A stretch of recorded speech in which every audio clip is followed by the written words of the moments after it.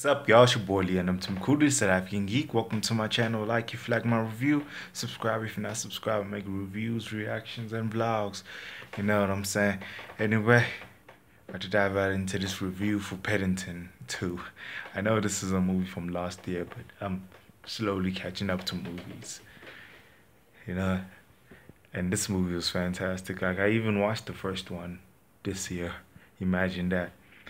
And can't believe I, I, took so long to watch these two movies. Anyway, Paddington 2 was phenomenal.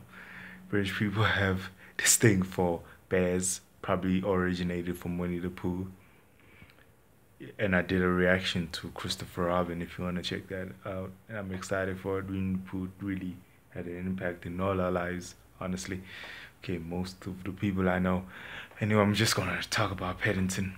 This was a, a really good ass movie like not just story wise but visually you know saying? Yeah this aesthetic with it that was just breathtaking. And the camera movement subtle but really meant something you know what i'm saying? The story overall was good.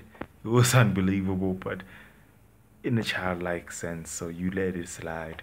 So basically i want to know if this show if you know tell me in the comment section below if they I mean this movie they do motion capture. Because the way Paddington just seamlessly sits sits in the scene with human beings he just sits well you know what I'm saying? It's it's a rare commodity even in this modern age 2018 where we get such great VFX CGI work you know what I'm saying? Yeah it was a great movie the family was a great touch this time around. The love they have for Paddington was more, you know what I'm saying? Because the first movie, you had to earn their love, and this time, once you earn that family's love, they ride or die for you. It was touching the prison, the prison buddies was also Knuckles was funny.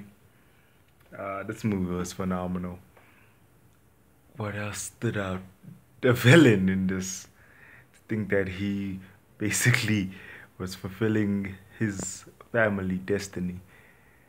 But he kind of found his calling in prison at the end. He learned how to work with people because that was that that's what his problem was from that agent's perspective. That he, he he thinks he's too much of a talent. He can't work with anybody. And in prison, he only worked with people. His disguises were classic.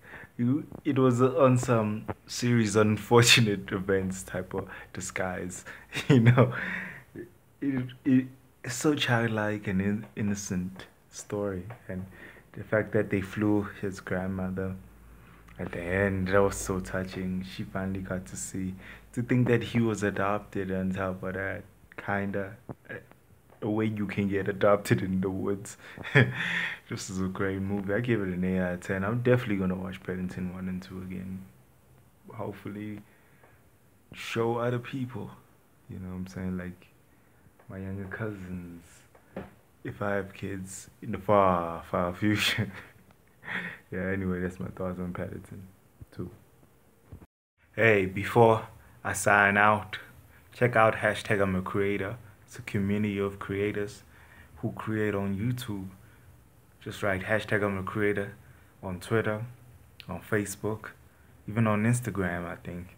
And you'll find a group of creators you find James Crocs, who started the group, who makes live streams, or a bunch of creators can meet each other, communicate, support each other. It's not sub for sub, but most of the time people do support you back when they like your content. So my channel's been growing since, so I thought I should let you guys know. Hashtag I'm a creator. Deuces.